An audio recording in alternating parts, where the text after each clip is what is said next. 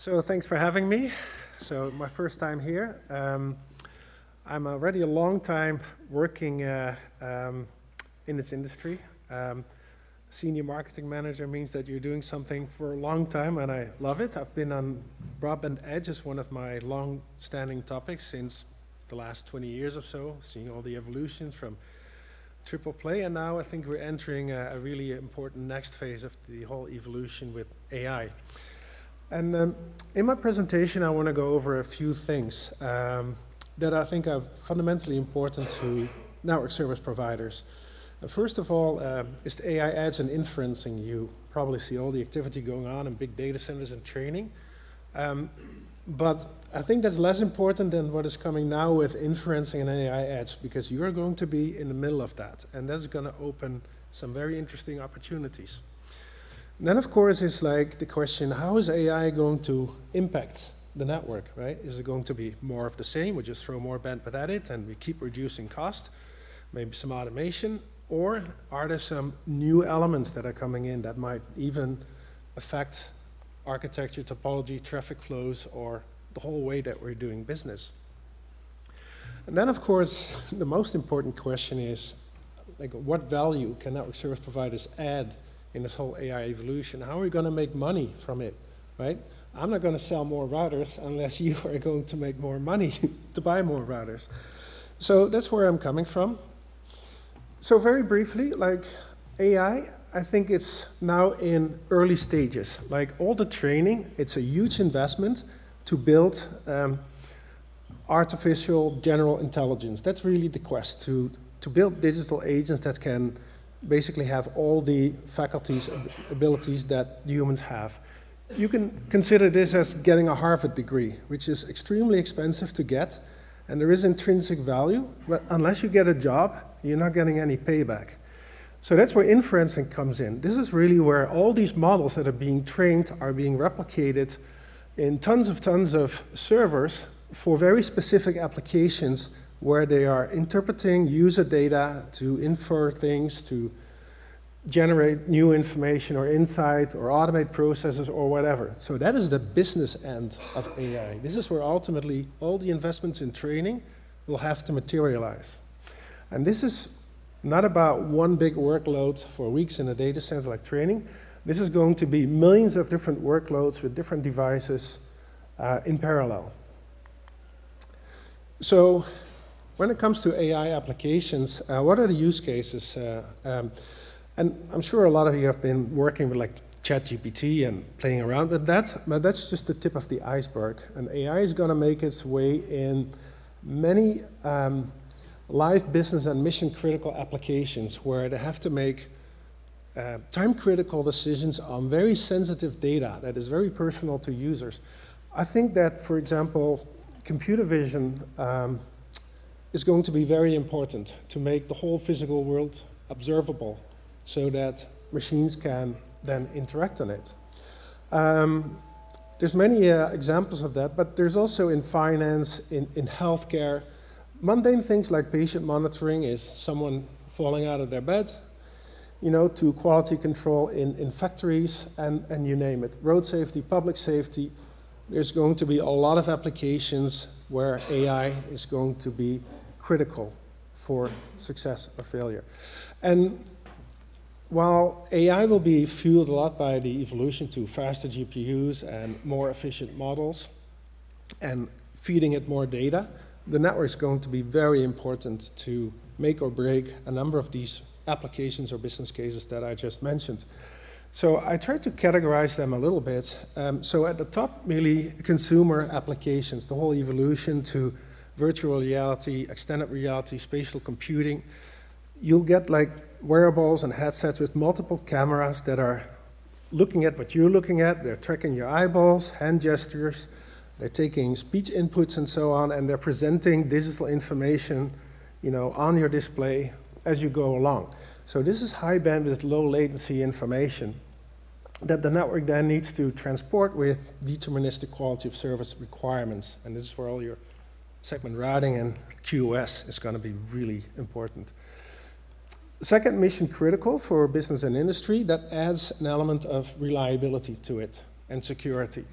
And also um, the flexibility to have multiple workloads where some are on premises, on the LAN, uh, others are maybe in a private data center, and other workloads in the cloud. And all this within the concept, context of a, a secure virtual private network that's quantum safe as well. And then the last is uh, massive uh, IoT, sensor networks. And this could be smart traffic lights, cameras, anything that is just um, feeding lots of information from many different sources into an AI that is going to then do something with that data.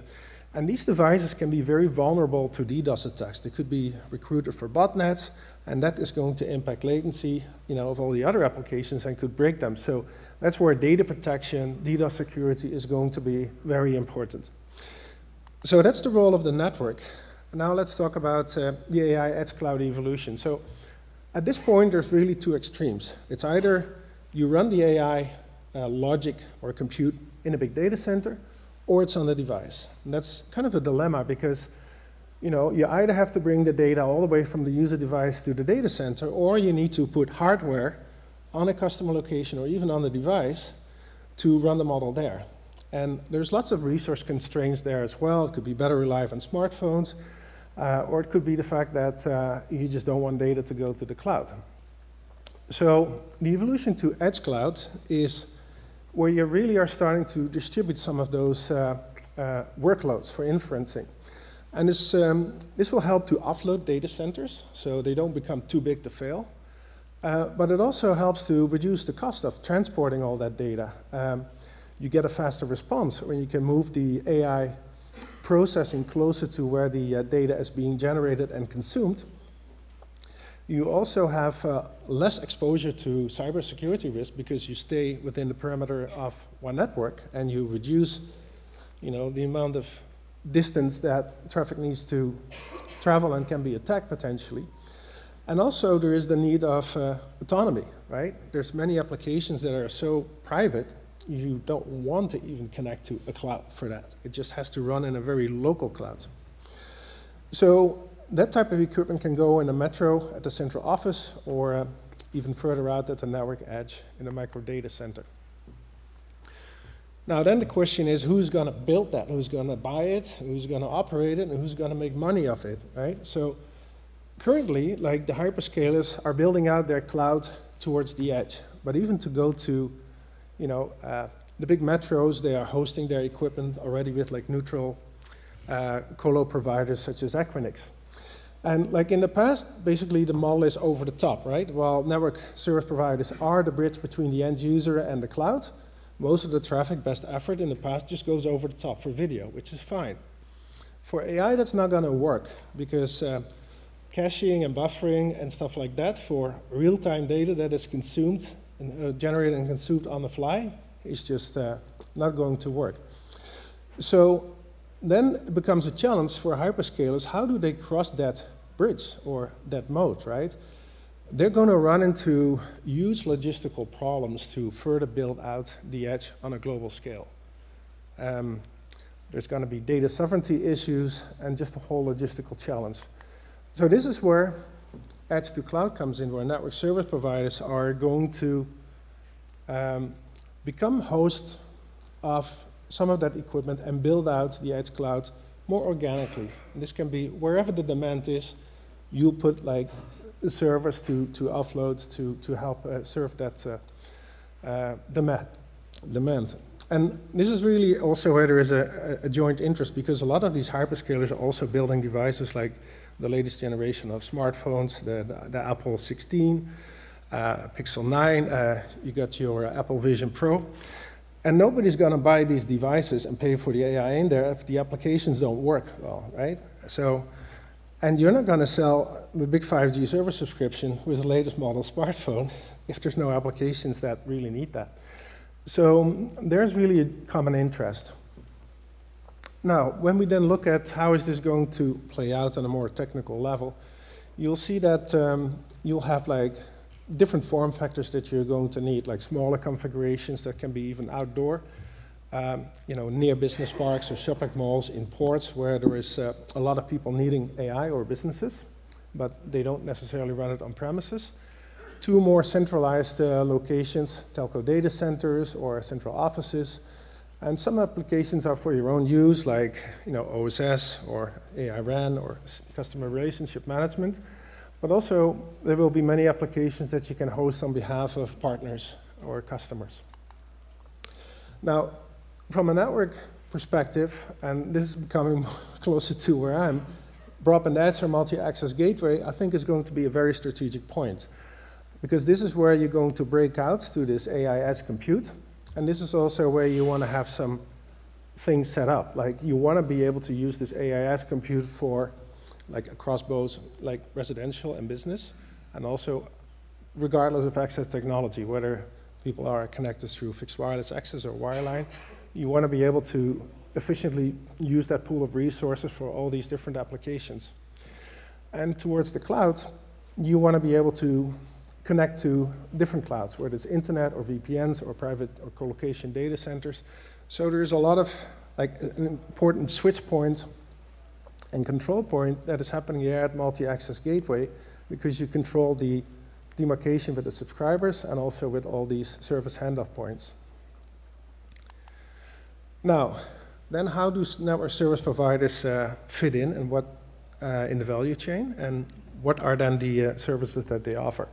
So this is kind of a very simplified view of the end-to-end value chain, where on the left you have you know, all your software providers, Hugging Face, uh, Anthropic, SAP, uh, IBM, you, you, you, name it. Uh, and also applications from the big hyperscalers. And then you have your, your cloud infrastructure where Amazon, Microsoft, and Google together are about like 70 or 80% of all the cloud there is out there. Uh, and then there is like others, you know, there's Oracle and there's lots of private clouds. And then comes the edge part where there will be um, some of the, like the aggregated edge in the colocation data centers or telco data centers, and further down will be on premises of enterprises or, um, you know, more distributed uh, units. And when you think about services, what is happening in the telco action is more like carrier motel or bed and breakfast. If you compare to co-location centers are more like carrier hotels, right? So these, um, these, these are smaller, but they're closer to the action, right? Uh, to, to where the data is being generated. So based on your capabilities and comfort level, you can basically add different services and, and climb that value chain because you don't need to be a rocket scientist in AI to offer these services. It's just equipment that needs power, space, connectivity, and hands to install it. And that's really what hyperscalers will mostly be looking for.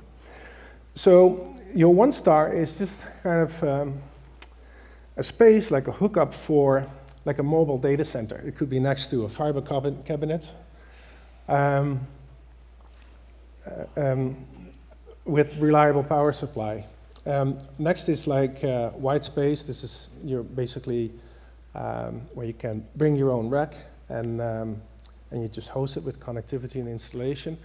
And then you can like further climb the value chain with you know uh, allow renting out rack space for servers, or going further into workloads or bare metal. And this is really where you want to partner up because uh, this hardware is going to you know, depreciate in, in a few years, and you're never going to get the latest generation like the hyperscalers do. So this is where you want to be more like a franchise where you're hosting AWS Outpost or Azure Stack or uh, Google Cloud Edge. So that's really where it's going to, uh, to finish off. Um, I think there is a, a, big opportunity for network service providers as they live at this, the edge of this hyper-connected world to, to add value and go beyond just connectivity. And through hosting services for Edge Cloud, I think that is, uh, that's a great entry point to go into. Um, of course, you have to make room for this, right? I think the tr transition from legacy copper DSL to passive optical networking is going to free up power and space. And also, of course, the innovation towards, you know, uh, next generation equipment is going to really help to, um, to prepare for this. And no matter what happens, it's always good to save space and power, right? So I'll leave it at this. Of course, uh, as Nokia, we, we can help you in all these, uh, these different uh, aspects. But I think it's first important to understand, uh, you know, how is this going to make money before we think even further. Thank you. Thank you very much.